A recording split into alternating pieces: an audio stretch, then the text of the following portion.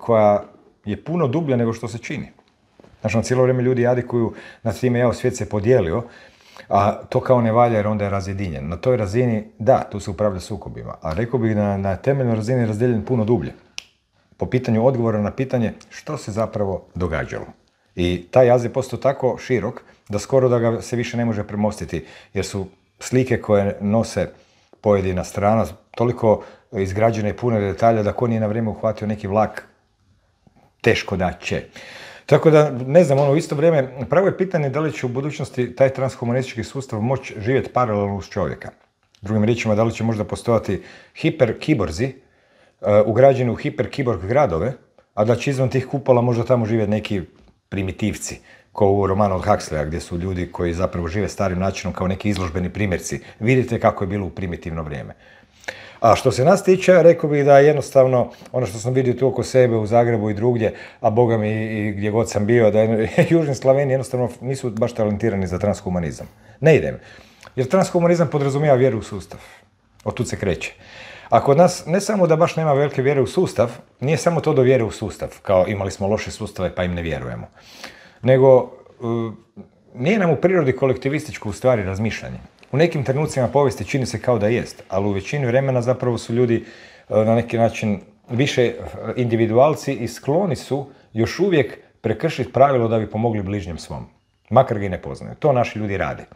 A to nećeš često puta vidjeti na zapadu, znamo mnogo anegdote gdje ljudi ne žele prekršiti ni najbanalnije pravilo.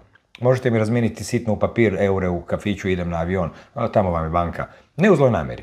Jednostavno, ili odeš u nekakvu Dansku, ove sve zemlje koje ljudi hvale. Ja gledam to, evo, baš sam čitao, možda sam to već ispominjao, imate izvještaj neke žene koja je živjela u Danskoj. Knjiga se zove Danci i stranci. Ti kad čitaš tih dve godine svakodnevnog života, noćna mora, a ne najsretnija zemlja na svijetu. Neću sad ulaziti. Samo sam htio reći da e, stvari imaju dva smjera, diametralno suprotna. I ne odvijaju se na svim dijelovima svijeta isto. Znaš, teško ćeš u savani Afrike uvesti transhumanizam. U Singapuru ili Japanu ćeš ga ovako lako napraviti. Ne? Kod nas, ja mislim da e, to baš se neće uhvatiti, jednostavno. Osim što hoće u ovim temeljima općih standarda kao što su danas pametni telefoni standard posvuda, jer ne možeš uopće funkcionirati, vidjet ćemo koliko će ljudi biti spremni otići daleko jer se na ovim transhumanističkim konferencijama najavljuje da 2030. se planira 6G.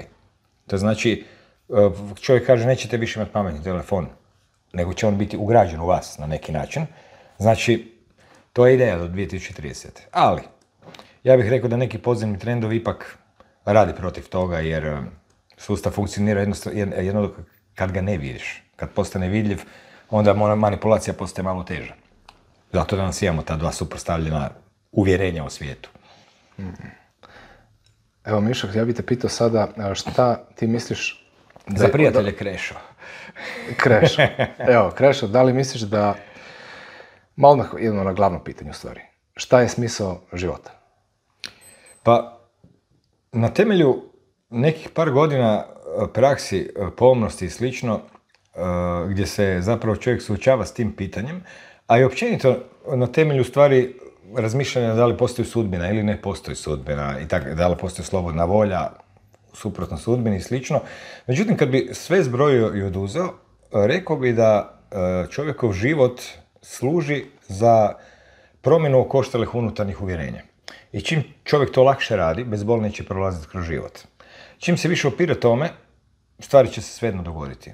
Samo će malo više boljeti, a mislim da to ima veze s onim e, o čemu i pričaju najveći stručnjaci za pitanje smrti danas na svijetu budisti, koji zapravo govore da postoje četiri barda ili četiri međustanja. Jedan od njih je život. I u trenutku kada ti u stvari umireš, nije da ti nestaješ, nego u stvari umiru sve slike u tebi u ovom iluzornom svijetu. Znači, odjednom si ti ti, ali nemaš više ruku, nogu, glavu, Naravno da padneš u šok i onesvijestiš se. E, e, drugim riječima, i ne samo to. Kakvu si sliku nosio u sebi, kakav si vidio svijet. U takvom ćeš se opet naći u tom međuprostoru u kojem je zapravo misao je stvaralačka ideja, to u, svijetu tih vlastitih projekcija. Naši svijetovi su svoje projekcije. Individualno, nema veze. Neko može u trenutku najveće krize prolaziti potpuno lišo. Dakle, ako ti ponešeš sa svom uvjerenjem da su svi ljudi lopovi, da je svijet e, kvaran, da se sa svima možeš boriti, odjednom će se stvoriti takav svijet.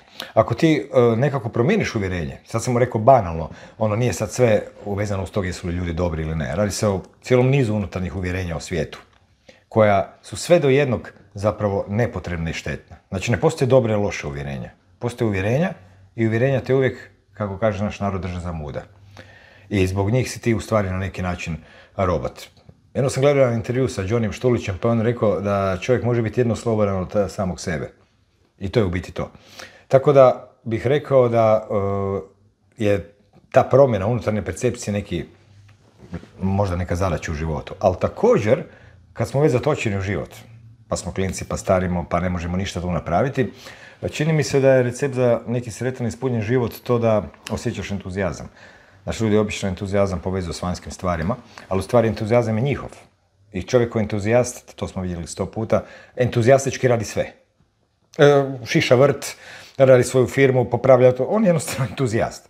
Čovjek koji nije entuzijast, a ima i takvih, njemu je život pomalo dosadan, možda je sklon rutini ili e, na neki način možda si ne može naći neki cilj.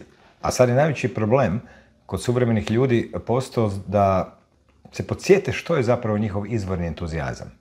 Ja mislim da svaki čovjek na svijetu ima neku svoju univerzalnu formulu što mu je najveći gušt raditi. Ajde da tako ponastavimo. Ono što ti je napeto. I nekom je možda računovodstvo, zaista. Nekom je možda vrt. Nije to nužno samo slikanje. Neki ljudi imaju entuzijazam prema ono što rade u poslovnom smislu. Ali problem u tome što mnogi i nemaju. Jer svijet konzumira vrijeme, radni sati na nekom mjestu koje ti se možda ne sviđa su dugi, ti si zapravo tamo jer te tjeraju neke potrebe svijeta, a zapravo ni ne znaš možda što bi li nisi razmislio. Tako da bih rekao da je entuzijazam druga, jedna ovako osobna strana medalje, čisto da ti život bude jedno, ha, zabavno mjesto. Znaš ono, gdje se nešto zbiva i gdje se ti veseliš, da tako kažemo. Pa u tom nekom smislu svrha života je da čovjek ima taj entuzijazam, jel?